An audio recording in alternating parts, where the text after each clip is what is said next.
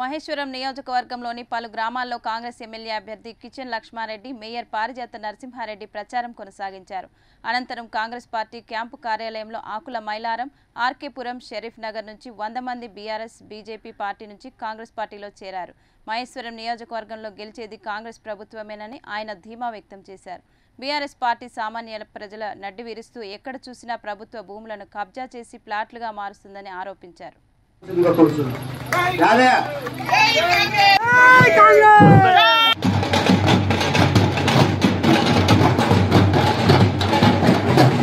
పది సంవత్సరాల నుంచి మరి దళితులను సీఎం చేస్తాని సీఎం చేయలేదు రాలేదు.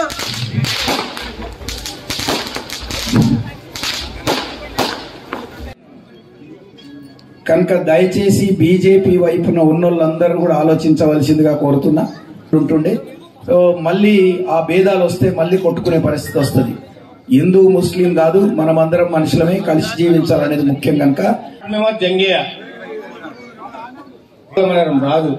ఏమన్నా చేసిండా? ఎన్ని అబద్ధాలు ఆడిండు? అబద్ధాలు ఆడిన వాళ్ళకి ఓట్లు వేయచ్చా లేదా మనం ఆలోచించాలి. ఎన్ని అబద్ధాలు ఆడిందో చూడండి. నేను ఒకసారి చెప్తా నిజమా కాదో చూడండి. ఎస్సీలు కనబడితే ఏమన్నాడు? ముఖ్యమంత్రి ఇస్తే ఎస్సీలకు లేకపోతే తలకాయ నరుక్కుంటానడా లేదా?